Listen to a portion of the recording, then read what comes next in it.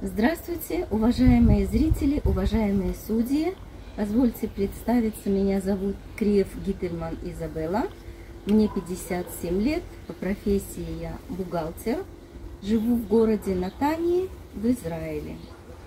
Очень много лет я занимаюсь различными видами искусства. И вот сейчас решила попробовать заняться текстурной живописью. Для меня это новое, я уже прошла несколько курсов обучения. И вот хотела бы представить на ваш суд свою новую работу, которая называется «Маяк». Э, очень надеюсь, что вам это понравится. Буду ждать вашей оценки.